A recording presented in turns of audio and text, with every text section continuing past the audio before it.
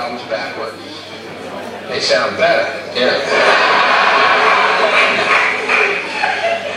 Oh, come on, Bill. They're the new kids. Don't pick on them. They're so good. They're so clean cut. And they're such a good image for the children. Fuck that. When did mediocrity and banality become a good image for your children? I want my children to listen to people who fucking rocked. I don't care if they died in puddles of their own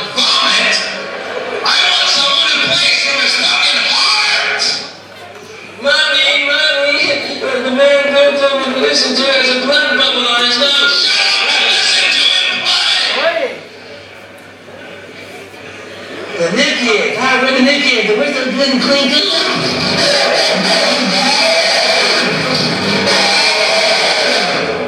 We're so clean cut.